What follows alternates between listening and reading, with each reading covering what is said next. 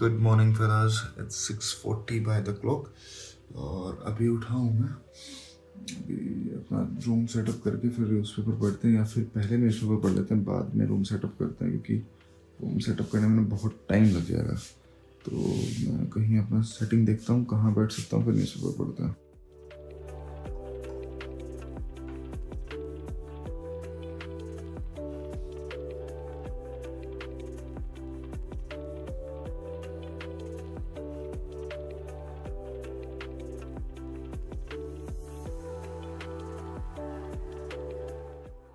हामिद अंसारी साहब का एक आर्टिकल है इसमें वो समझा रहे हैं कि आइडियोलॉजी क्या होती है और वो सोसाइटी को कैसे गवर्न करती है और किस तरीके से उसकी जो कोर वैल्यूज़ और इश्यूज़ उनको ट्रांसफ़र करती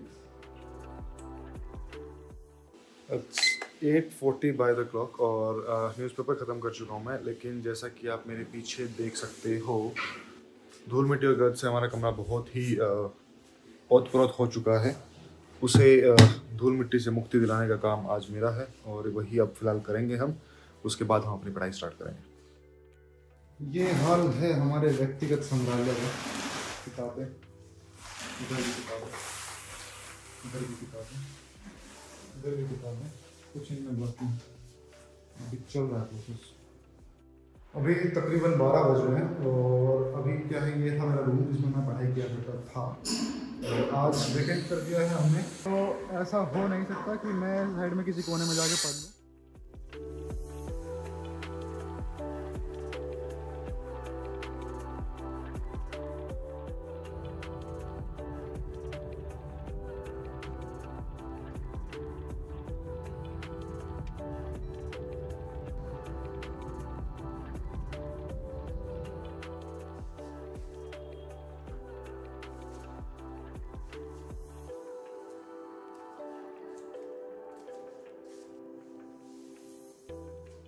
It's just to say good night and that I am showing you the face but ऐसा हालात है नहीं।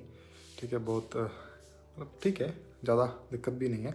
बट चलो for the time being let's say good night for the day see you tomorrow morning with the Hindi newspaper आज कुछ खास अच्छा था। हाँ हामिद अंसारी साहब का मैंने आर्टिकल पढ़ा था, वो काफ़ी ठीक ठाक सा लगा मेरे को, लेकिन बायज सा लगा उनकी तरफ़ से। But he always seem to me as a biased person